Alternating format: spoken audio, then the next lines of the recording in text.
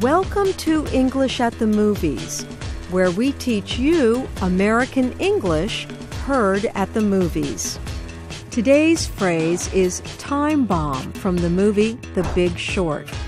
It is about a financial crisis that led to huge losses in banks and housing. Let's take a look.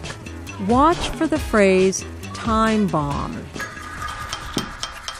The whole housing market is propped up on these bad loans. They will fail.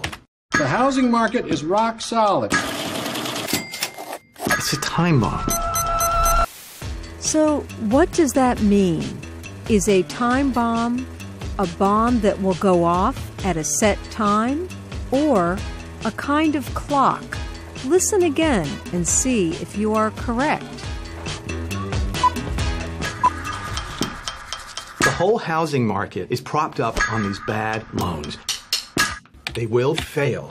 The housing market is rock solid. It's a time bomb. A time bomb is one that explodes on a timer. The movie talks about a crisis that will explode, not an actual bomb. A time bomb ticks or makes a clicking sound, building tension. People can be time bombs too. Worry builds up and they can explode by yelling or using bad language. And that is English at the Movies.